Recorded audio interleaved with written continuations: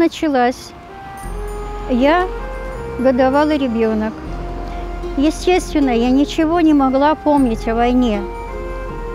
И первые воспоминания у меня остались о войне только уже в три года. Я помню, что живу я у дедушки с бабушкой, еще одна бабушка. Мамы нет, ни брата, ни другого дедушки. Я этого ничего не понимала. И вот такой, э, такое событие. Значит, мы сидим за столом э, в комнате, а дом единственная комната. А напротив меня глухонемая бабушка. Это сестра дедушки. Она переболела в 7 лет менингитом и совершенно оглохла. Но разговаривать могла. Она со мной разговаривала таким небесным голосом. А со взрослыми они общались э, жестами. И вдруг я вижу, открывается дверь, и входит в дом мужчина в серой одежде, с автоматом, держит что-то, ну, какую-то банку в руке. Бабушка посередине комнаты. Он к ней подходит, отдает эту банку. И что-то говорит ей и уходит. Мужчина ушел. Бабушка начинает топить печь, а это было к вечеру. Тогда-то я не понимала, это мне уже после рассказали. Топить печь и что-то варила. Через какое-то время снова заходит этот солдат, забирает, уходит. Дедушки в доме нет. Потом снова через какое-то время он заходит и подходит ко мне и подает коробочку. Красивую коробочку, закрытую. А я подбегаю к бабушке. А бабушку, ну, в деревнях носили такие широкие юбки. Ну, все в деревне бабушки, де, женщины ходили. Я взяла эту юбку, закрылась и прижалась к бабушке. Он ушел. Потом тут же вернулся уже с открытой, а там оказалось леденцы такие цветные. Я опять не беру. Ну, бабушка говорит, возьми. А я опять спряталась. Он отдал бабушке. И после потом бабушка говорила, этот солдат ей объяснил, что я не хочу воевать. У меня дома такая же дочка. А они оказались в этом доме, когда наши войска уже гнали немцев на запад. То есть э, была разбита колонна на дороге, а дорога это с Москвы на Минск. Тогда ведь не было ни асфальта, ничего, просто насыпная дорога. А с другой стороны железная дорога. И вот они с этой дороги, оставшиеся в живых немцы, бежали на вокзал. И а, какое-то время делали передышку в этом селе, где я жила. Они распределились, видно, там по домам, и часть вот была э, в доме у дедушки с бабушкой, и они вот э, как только зашли, дедушку с собой взяли, чтобы он никуда не ушел, чтобы он оставался с ними. Он так оставался с ними, пока они не ушли. Утром я проснулась, а солдат уже нет, Бабушка сготовила завтрак, и потом я слышу сирену. Такая страшная сирена, прямо закладывает уши. И вы знаете, у меня не было страха, только какое-то любопытство. Дело в том, что со мной взрослые э, люди, а со взрослыми ведь не страшного, они ничего с ними не делают. И вот входит дедушка в дом, берет меня на руки, обе бабушки, и мы бежим в погреб. Погреб а, в, ну, во дворе практически вырыт с таким шалашом. Открыли погреб. Сначала бабушки туда забрались, потом меня взяли. Дедушка закрыл и остался в доме.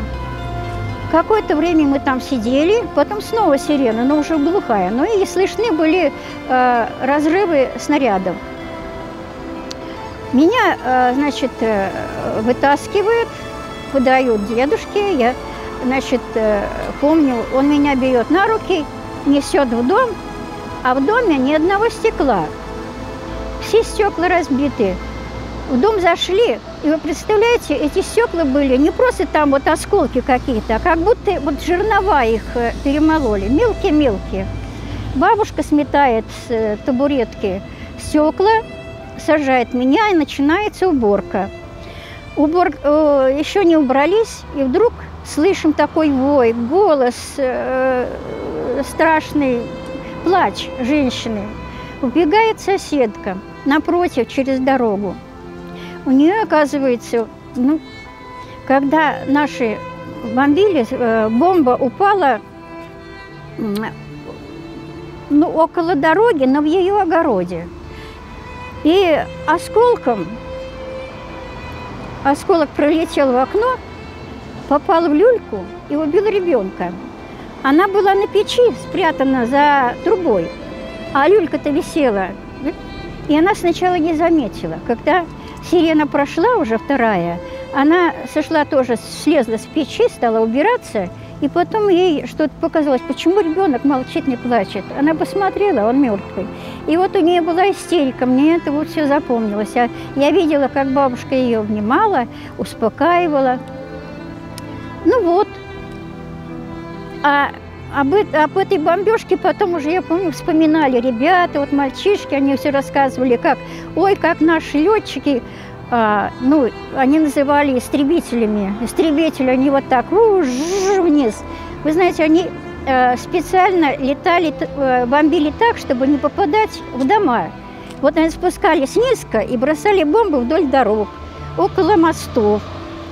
А, у нас в деревне, где вот я родилась, но не жила, там, где мама оставалась с братом с дедушкой, с папиным, а, в общем, отцом, а, она говорит, у нас только поле одна бомба разорвалась, и э, у моста в речке. То есть мост э, раскидала, а какие там мосты в деревне? Я жила э, в Брянской области, от Брянска 200 километров, от районного города 120 километров. Едешь, на, допустим, по дороге на Минск, наших деревень и сел не видно, они где-то внизу, потому что там дальше река, и вот река – это низина, а потом как-то возвышенности, вот эти дороги идут на Минск.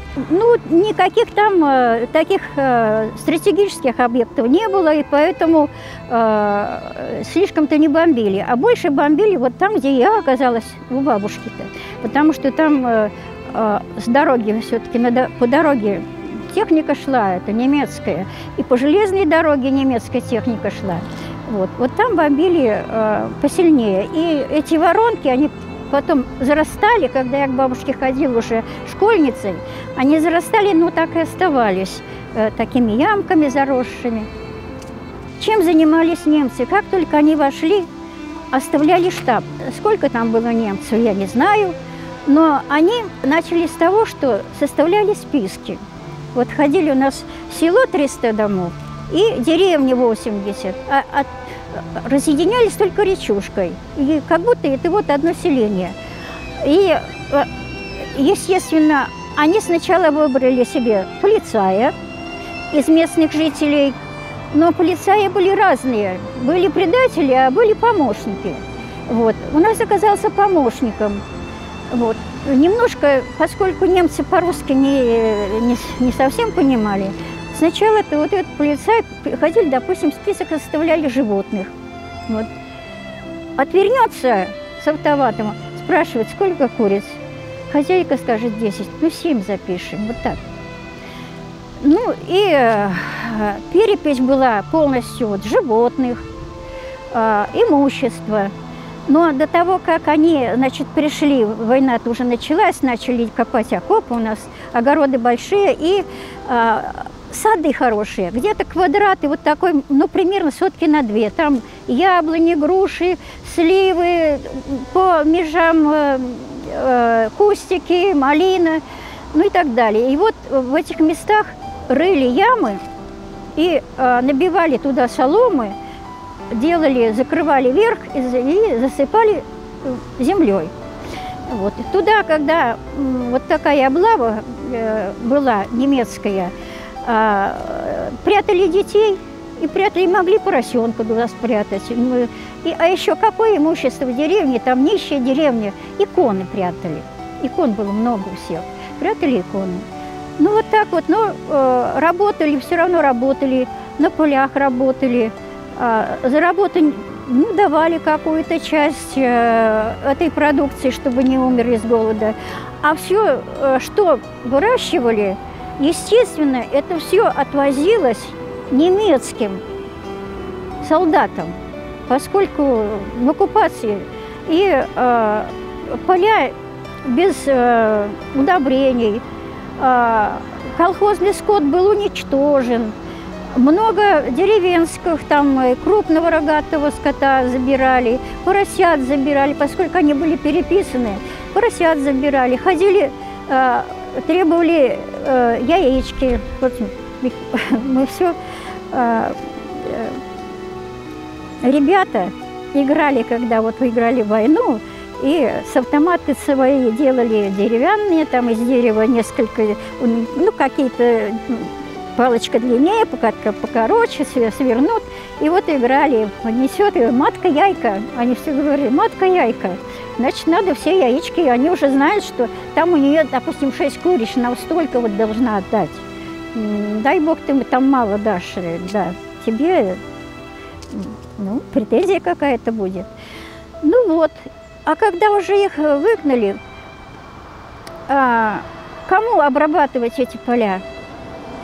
Там многих поубивало на фронте. Отец мой погиб только вот после того, как э, освободилась деревня от немцев. Только тогда пришла, пришло извещение дедушки, что в общем, мой отец погиб без вести пропавший. Он без вести так эта бумажечка у дедушки осталась, и она потерялась. Жили мы без паспортов, без э, света, без радио, этого ничего не было. Вот. Если надо было вечером как-то там вот ночью, то жгли лучинку. Специально готовили лучинки такие сухие, э, вот, их жгли. Или свечки были.